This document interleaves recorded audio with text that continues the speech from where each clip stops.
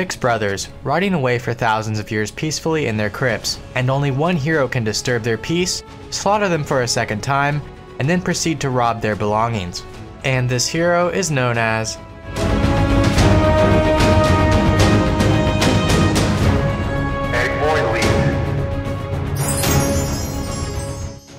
That's right, this year Easter came early, or should I say late, and with the goal for the lowest combat level in mind, I welcome you back to my series. Better.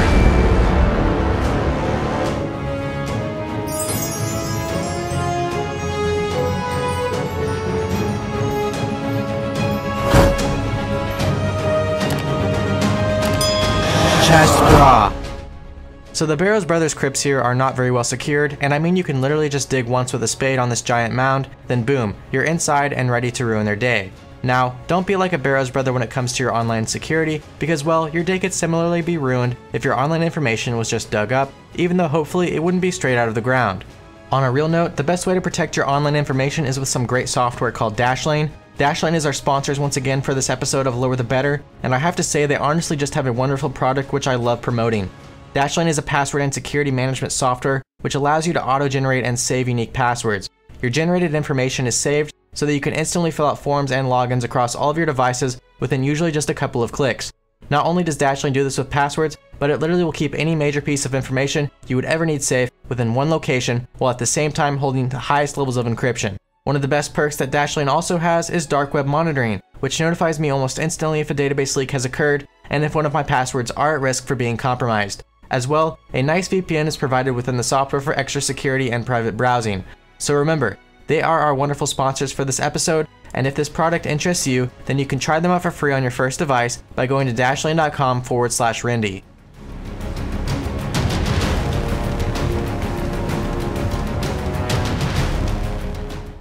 So yes, you read that transition correctly. This is actually going to be a two-part video as I felt neither part was enough to make the cut for standalone content. If you wish to only watch the Barrows content though, I'll put a timestamp below, although you'll be missing out on a lot of the discoveries I had in the week prior. So ironically enough, someone just asked me in the comments section the other day how often my plans for a video fall through, and of course the answer was not very often. That is until I started recording my original plans for this specific video. These plans were to attempt to use the tournament beta worlds that were open across the entire global map of RuneScape to therefore take on some Slayer bosses solo on a combat level 3 I would otherwise not ever have the chance of completing in a regular world. This is because, well, we're 6 years into the live game, and I believe the highest Slayer on level 3 is only 81 as of this moment, and well, that doesn't really fit into my 2 week time requirement. And in tournament worlds, you can literally set custom stats so I could just level instantly to 99 Slayer whilst remaining level 3. Therefore, as a level 3 and doing it solo, I went about testing many of these Slayer bosses in the first week. Unfortunately, I quickly saw that most of these bosses would be impossible to complete at level 3, and I narrowed it down to 2, which eventually even went down to 1. And the first of these two Slayer bosses at the time I believed to be possible was that of the Kraken.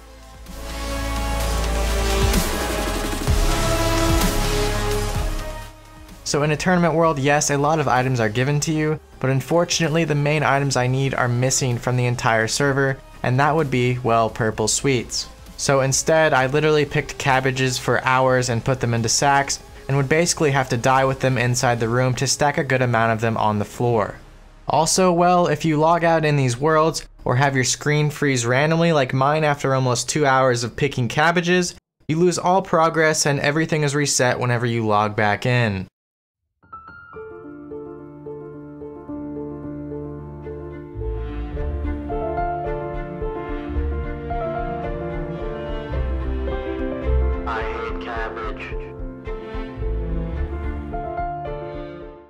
So after finally spending hours of getting these cabbages ready, my damage plan was to then set up a cannon, make cannonballs, and then summon the tentacles one at a time and allow for my cannon plus recoils to finish each of these tentacles off before even summoning the final kraken. And I could do this with the cannon because the tentacles give 0 combat XP when attacking them. So yes, I found out you can set up a cannon in here on two specific back tiles in the room weirdly enough, but this cannon can't reach the most northeastern tentacle or the Kraken's head. So my plan was to then deal with both of those separately, solely using eats and tick eats along with recoils. After finishing the last tentacle with recoils, I moved on to the Kraken itself, and to my dismay, found out that its attack had zero delay between its animation and calculation, and even worse, its attack speed was so rapid that it would calculate damage on your prior HP when it would fire on you.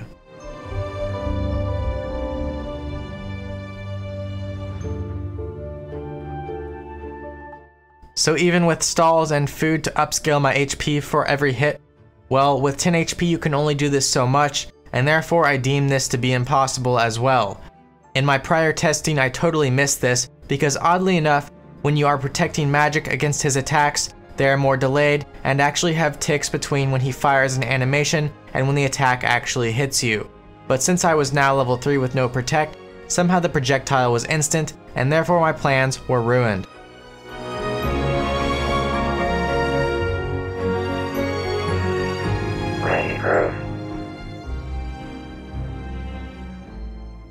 Although my first goal was a failure, I still had a great time, and I did find some unique abilities in this room throughout testing, and it was quite an experience. One of the most hilarious finds included discovering a way to melee the Kraken even though you will always hit zeros, similar to the smaller ones in the other room.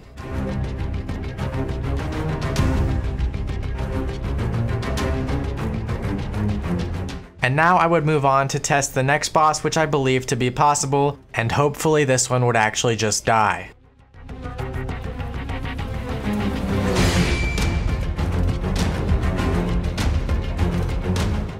So the very first property I noticed about the thermonuclear smoke devil was that it attacks you very quick, firing every two ticks. But I also noticed that if you manage to stand on the square next to Thermo versus any of the ones further back, there actually is a singular tick of clearance before his next attack calculates damage on you.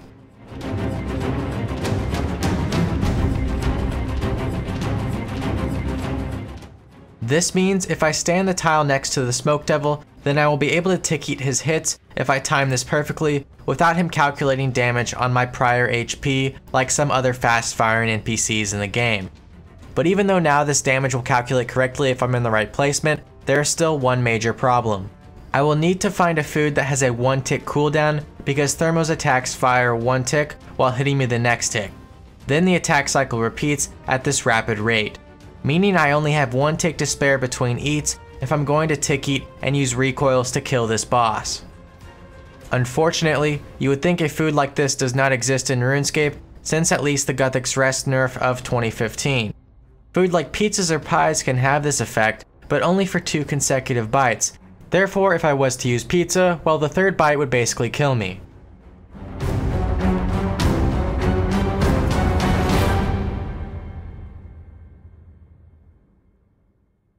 Luckily years ago when I was doing my low level fire cape challenges, I needed a food that would replace the Guthix Rest after its initial patch, and therefore this made me go through almost every obscure food in the entire game to test the cooldowns between each bite. And guess what? After going through literally every food in the entire game, I found one. And when I say one, I mean one, as there's only one in the entire game left.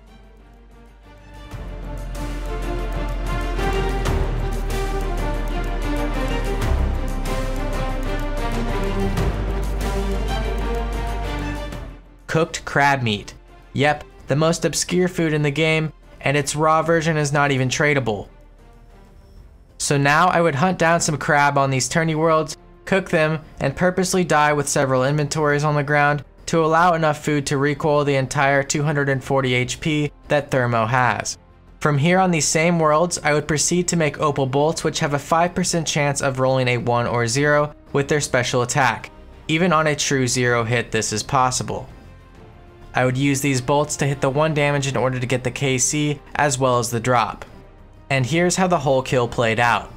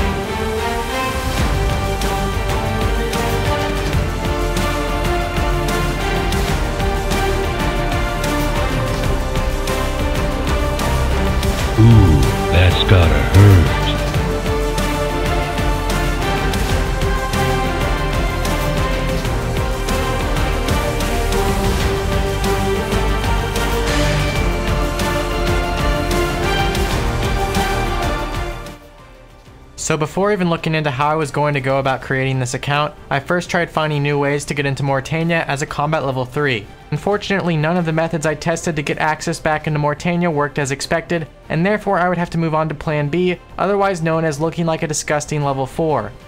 This is because the old methods were patched long ago around the same time my last video was released within this area. Also by the way, I noticed now that the Haunted Mine Quest journal no longer even says access to Morytania as a requirement. But hilariously enough, has been changed to distinctly say Priest in Peril.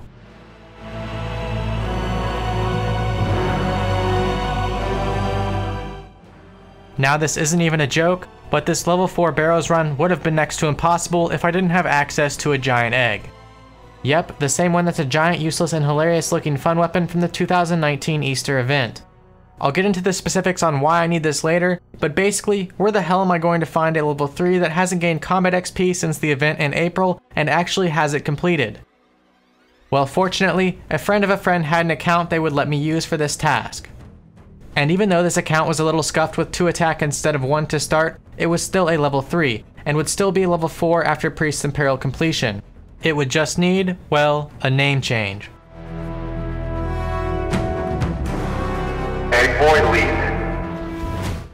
Now for the other requirements I deem necessary for this goal, I would basically have to do Dwarf Cannon Quest, then up to the part of the Dwarf for Recipe for Disaster with Fishing Contest in order to access a rock cake.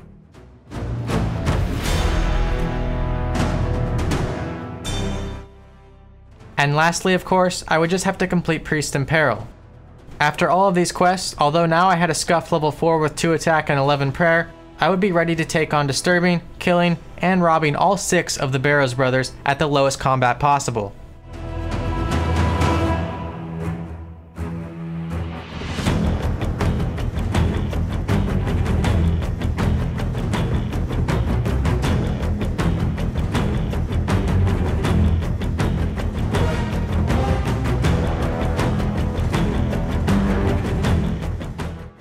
Now the first Barrows brother I was going to be dealing with was actually one of the more difficult ones of the six, being Dharok. But I wanted to go ahead and get him over with so I could get some muscle memory for the method I would be using for the majority of these fights. Why Dharok was so much more difficult than some of the others? Well, one, he was a melee NPC, and two, he had a slower 7 tick attack speed. The fact that he is a melee NPC matters because traditionally speaking you are not able to tick eat melee attacks because the damage registers the same tick the NPC attacks you.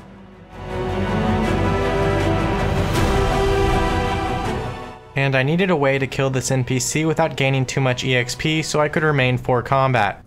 Poison was first considered since these NPCs are not immune, well until I realized he, along with all of the other brothers, have around level 100 defense and 252 stab defense bonus.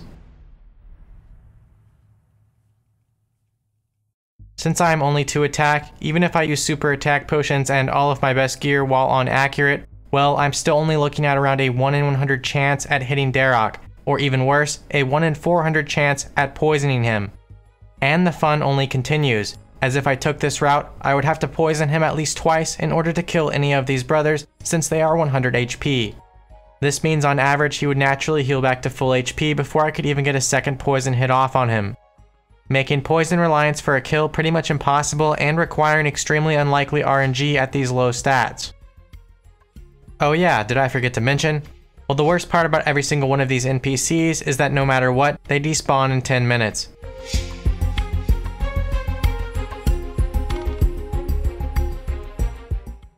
So guess what? My only other option was to use recoils to lower his HP. And well, I'm 10 HP, this guy maxes 64s, and all with melee.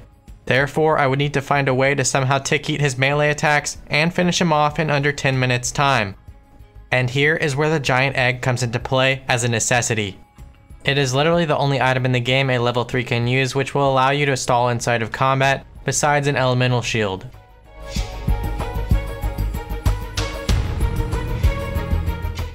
Almost all stalls in the game are disabled in combat, but luckily for us this giant egg has some crazy perks, and that's just one.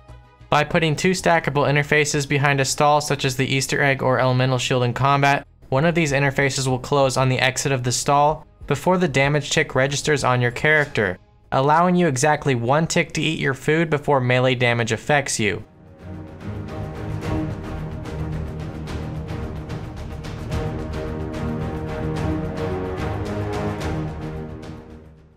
As well, the only stackable interface you can use behind these stalls on a combat level 3 or 4 is that of the chat message which pops up when selecting a locked prayer, so I will 100% need to utilize these.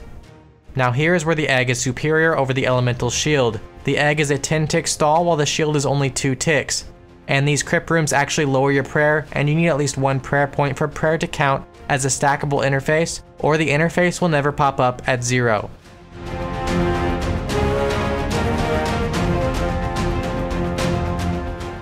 While stalled in interface though, prayer will not drop in this room until the stall has completed and since the shield is only a 2 tick stall, my prayer will drop between almost every attack, requiring me not to only perform constant double interface tapping, stall timing and tick eats in short periods, but also somehow require multiple inventories of prayer potions and using these prayer potions likely at inconsistent times.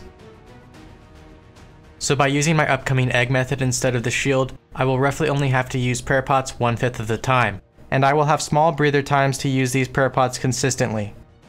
As well, I will have to summon Dharok on each of my attempts and hope that he doesn't hit over my max HP on his first attack while just trying to start the kill, which he probably did over 100 times.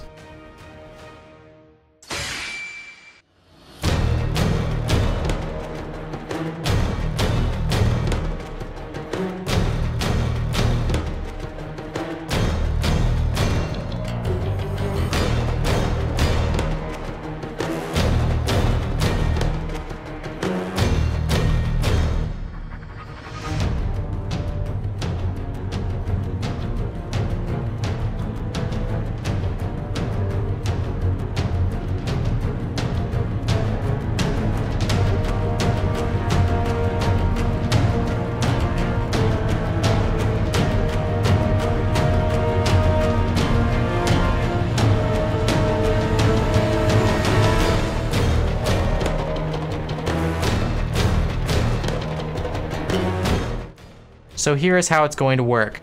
After taking the initial hit from Dharok, I will make sure I sit at 1 HP by shift click guzzling the rock cake before stepping out in front of Dharok each time. From here I will shift click stall with the egg and then tap two interfaces all before his first hit registers on me so I am not stacked out after the stall finishes. And after that first egg animation completes, I will loop it then into a second stall with the first stackable interface to allow for my prayer to last longer. Finally, after all of the 20 ticks, 2 egg stalls and 3 attacks from Dharok, I will quickly use the second interface I stacked in order to stall the melee damage tick. Tick eat higher than the 3 1-2 hits that Dharok will do on me with the chocolate cake, since this heals 5 HP over the previous 3 attacks. Then instantly run the next tick while prayer potting and repeat the process as quickly as possible.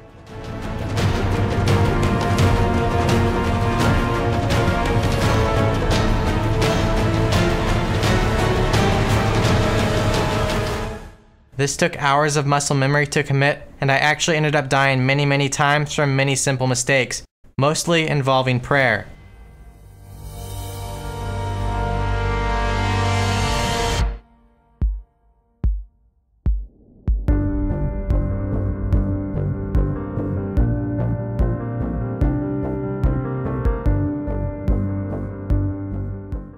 But I quickly realized the 7 attack speed on Dharok was what was hurting me the most, as it would be almost impossible, even with all of this, while taking 3 hits at a time and dealing 3 damage in return, to kill him in under 10 minutes before he despawns. And finally, as my last resort, I called upon an old friend for some help.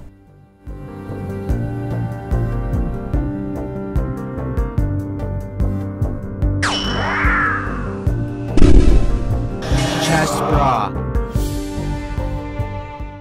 with Chestbrah's Vengeance, I was now able to deal 4 damage per cycle versus the prior 3, and even this was cutting it close.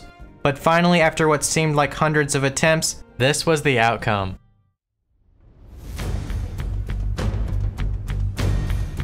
Chestbrah.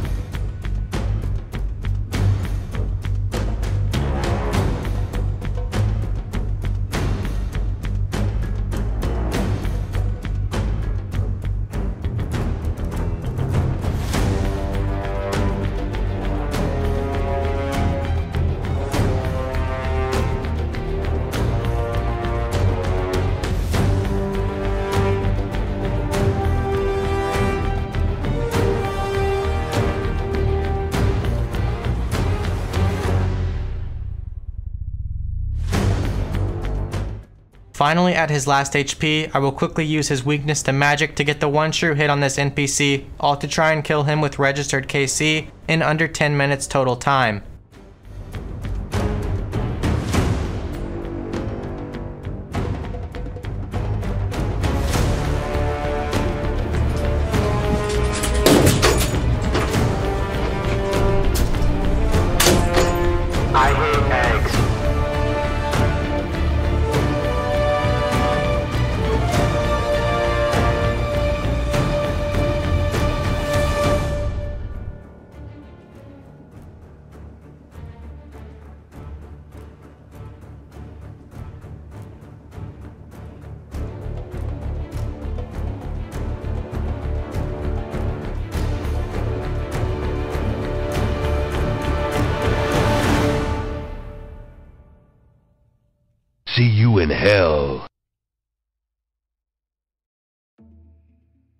So yes, that counted, and now that I've killed one brother, only five more to go.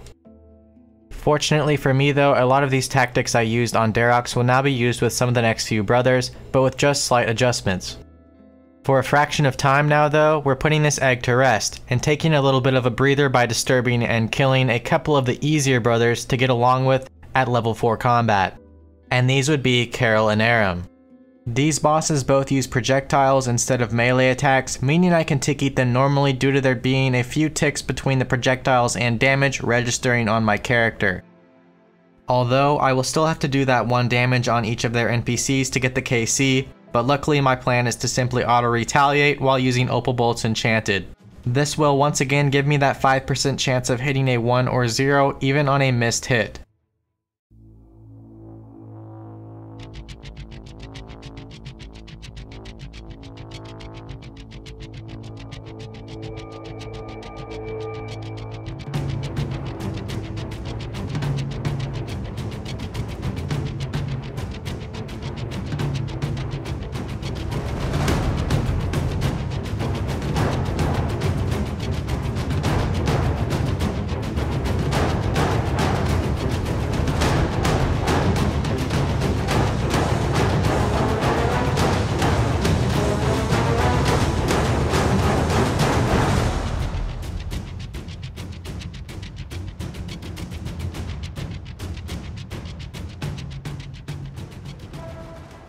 So after finishing off Karil's and Ahrim's, I would next take on Guthan's, and well, I had no clue what I was in for. So this didn't even cross my mind, but Guthan's has a 25% chance to heal himself for the damage dealt. And after testing this with my egg method along with Chestbrah's Venge alts, well, we were almost at a stalemate with his HP after 10 minutes.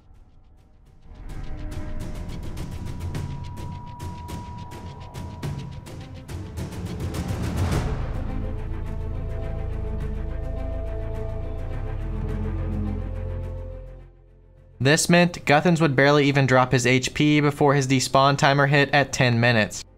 So I would have to theory craft a whole nother way to take on this boss, which was probably the most annoying in terms of having the largest toll on my patience.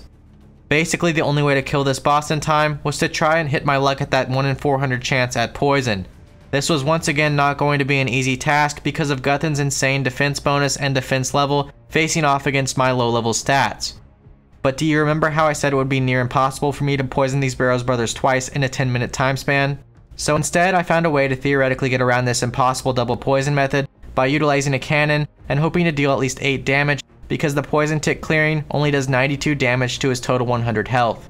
This would be possible because Guthan's range defense bonus was not nearly as much as his stab, and my cannon revolves faster than my ability to melee flinch him on the corner of these tombs. Now, I could only use this method with one of the brothers because one, it was extremely time consuming, and two, I had too little EXP in almost every combat stat to spare on any other of the brothers before reaching that even more disgusting 5 combat. And Guthan's by far was the best choice to do it on. As well, to increase my chance of rolling a 1 damage hit with my poison dagger, I would use a super combat potion and increase my strength as well as attack so I could then roll a 0, 1, and 2 on a successful hit rather than just a 0 or 1, upping the likelihood to hit by about 33%. Lastly, I would also have to poison Guthans within a 2 minute time span of him spawning. This is because on average it would take 8 minutes to tick Guthan's HP down enough with one singular poison roll. This is because once again I only have 10 minutes before his despawn timer takes effect, clearing him from the room entirely. This all means that I would have to reset Guthan's spawn every 2 minutes and risk that chance of being one hit the tick he spawns almost 10 times as much as the prior Dharok brother.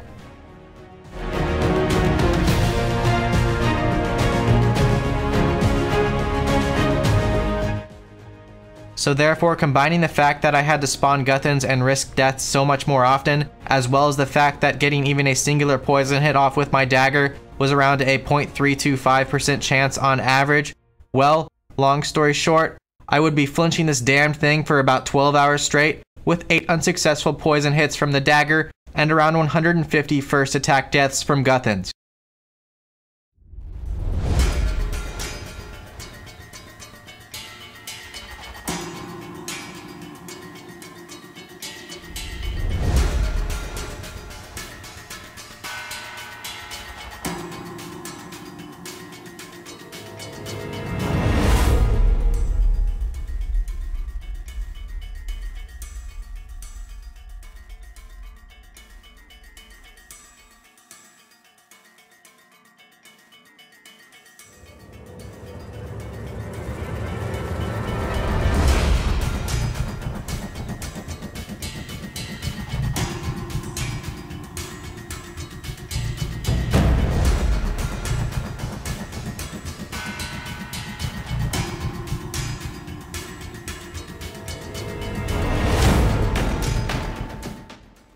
Now I would just have to get rid of Torag, and this method I would use was one similar to that of what I used with Dharok.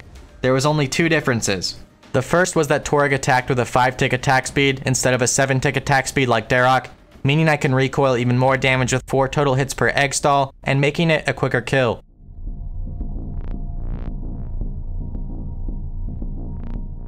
The second was that Torag had a chance of lowering your run energy, so an extra stamina was necessary, to be fair though, I probably should have brought more than just one extra.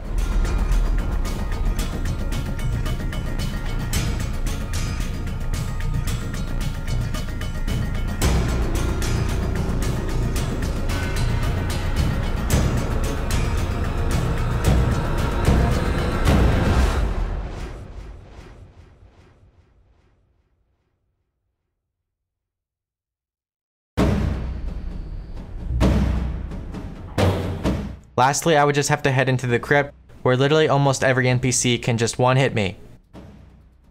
So I actually found a foolproof way to navigate these tunnels with literally zero damage taken from any NPC, making me almost wish this entire task was possible on a hardcore.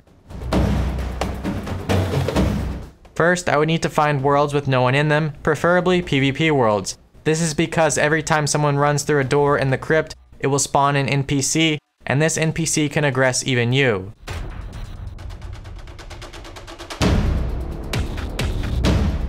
Fortunately for me though, I found an empty PvP world and proceeded into the first room where I went AFK for a couple of minutes.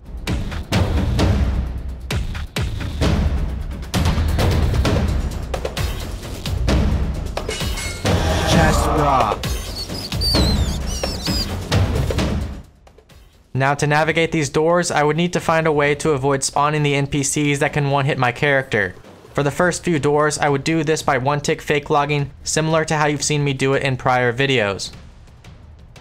Basically, I would click log out and then instantly click the dungeon door. Unfortunately though, if I logged back in, the NPC would still be spawned and attack me. So I would simply hop worlds to enter a room with zero NPCs spawned in the entire area.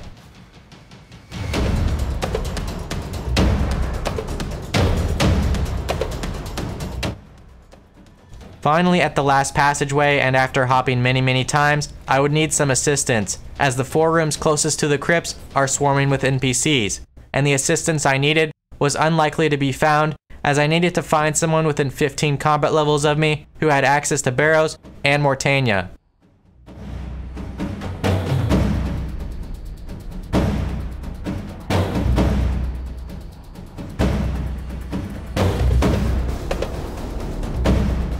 Chapter. Remember this guy? Well now he's came back to perform one last job. hit me once with a crier bell. From here, I would use the egg stall on Egg Boy Leet with two interfaces behind it, attack myself once on Mineshafted with the crier bell, then spam the logout button back on Egg Boy Leet. What I am doing here is delaying Mineshafted's attack by one tick with the interface stall, similar to melee tick eating, but instead, I will utilize this tick the game recognizes myself as out of combat in order to trigger a short fake log, similar to those done by projectile-based NPCs.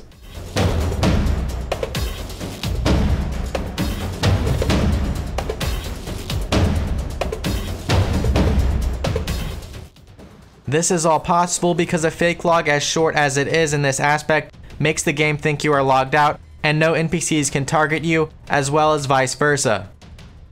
So in my testing, I noticed Verac or the NPC's crypt you entered to get into this dungeon will spawn the tick you open the chest, meaning this NPC can one-hit me like all of the others in their crypts almost instantly. Fortunately for me on this attempt though, it did not, but I wasn't ready for this fight the first time around, and neither was Chestbrah who failed to even venge me on the first hit. Chestbrah. So I logged out from here and totally forgot the chest stays open. And from here, I proceeded to resummon Verac, but well, instead, I looted the damn chest.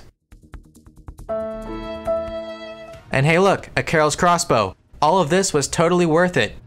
Anyways, I'm not backing out of this fight, and there is one last brother I need to exterminate, so we're heading back into the crypts for one final battle.